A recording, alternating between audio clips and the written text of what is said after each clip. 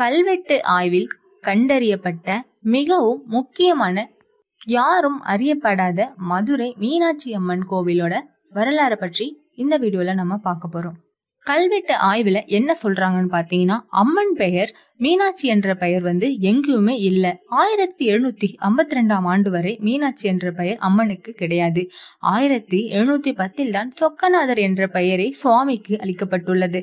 அதற்கு முன்பு சுவாமியை மடக்குள கீழ் மதுரோதய வளநாட்டு மதுரையில் திரு ஆளவாய் உடைய நாயனர் திருக்கோயில் என்றேதான் குறிப்பிடப்பட்டுள்ளது. அம்மனை திருக்காமக்கோட்டம் உடைய ஆளுடைய நாச்சியார் என்றே குறிப்பிட்டுள்ளனர். ஆயிரத்தி எட்நூத்தி தொண்ணூத்தி எட்டாம் ஆண்டுதான் கல்வெட்டில் மீனாட்சி சுந்தரேஸ்வரர் என்ற பெயரே காணப்படுகிறது. இந்த உண்மை உங்களில் எத்தனை பேருக்கு தெரியுங்கிறத கமெண்ட் பாக்ஸில் தெரியப்படுத்துங்க. அப்படியே நம்ம சேனலை சப்ஸ்கிரைப் பண்ணாமல் பார்த்துட்டு இருந்தீங்கன்னா மறக்காம சப்ஸ்கிரைப் பண்ணிக்கோங்க.